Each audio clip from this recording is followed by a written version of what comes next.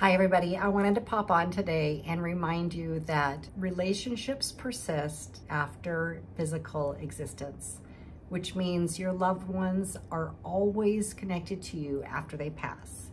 I have a huge audience of pet lovers and many of you wish to connect with your pets after death. I do have some meditation videos on this channel, but many of you actually are experiencing the grief from losing a significant loved one and I just want to remind you that that string of connection, that quantum entanglement that you have with your loved one, it still exists. I teach people how to heal their grief, how to increase their frequency and vibration so that they can have authentic afterlife connections because I find that it's the best way to heal grief. Knowing that your loved one is on the other side is sometimes the most challenging thing because we feel a loss of love and oftentimes a very sudden loss of love and relationship. When we think that our loved one is dead and that they no longer exist, something within us dies as well. And our connection, the severing of our communication and our connection is why we suffer. So it's not so much about just healing the energy of grief. It's not just about finding healing and hope after losing a loved one, but it's about really changing your consciousness around love and loss and around the death of your loved one. When you start to really explore the afterlife and explore what comes next, you'll be met with many amazing synchronicities and proof of the afterlife that will fill your heart, will give you hope and reconnection. So I'd like to challenge you today. I'd like to challenge you as you move forward to just ask heaven, ask the fates, ask your angels and guides, ask your loved ones specifically, ask them for a sign that they are still with you. Oftentimes, that's all you need is just a little reassurance to know that your loved one is still with you, that they know what's going on in your life, and that they are still around.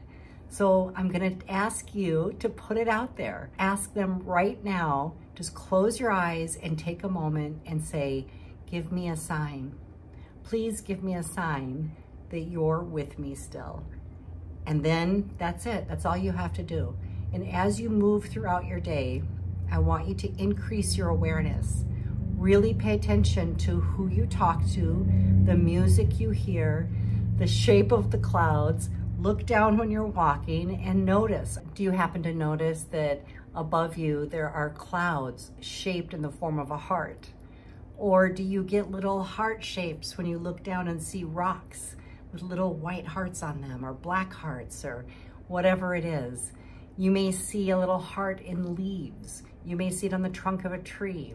I tell people to pay attention to everything in their surroundings. Any synchronistic event that occurs after you have had a heartfelt desire is considered an answer from the spirit world. So please do pay attention to your surroundings, pay attention to voices, to names, to songs, to different things that you hear.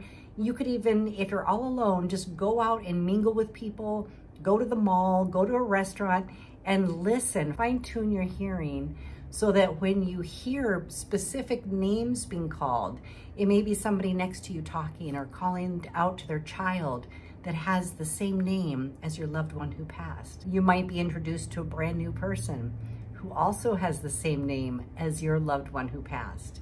There are so many different ways that this can show up, but I'm telling you to put your request out there. Just because you have a longing in your heart doesn't mean the spirit world knows you want to have signs and symbols. And signs and symbols to me are like sign language from the spirit world. This is how they communicate. Of course, you can hear an audible voice if you're clairaudient. You may have a dream visit. You may have a physical apparition of your loved one. All of these things are possible and happen all the time as well. But the easiest way for your loved one on the other side to make contact with you and bring a little inspiration back to your heart and help you know that they're around so that you can reconnect with them is through the signs and symbols. Signs and symbols are the language of the spirit world. So I would love for you to share what your signs and symbols are as you're paying attention to this. As you move throughout the day, come back to this video. Please write them down in the comments, share them with others so that other people who are grieving can also feel inspired to find their own signs and symbols that connect them back to their loved one who has passed. Your comments encourage other people who are grieving and you help people by sharing your experiences. So please do share your experiences in the comments here. This is a beautiful, loving community. We believe in the afterlife. We support your journey through the grief healing process. And we want to encourage you to really embrace the whole journey of life and death and the afterlife and really know that our connection, it's eternal. Thank you guys for being here. I love you and have a beautiful day. 拜拜。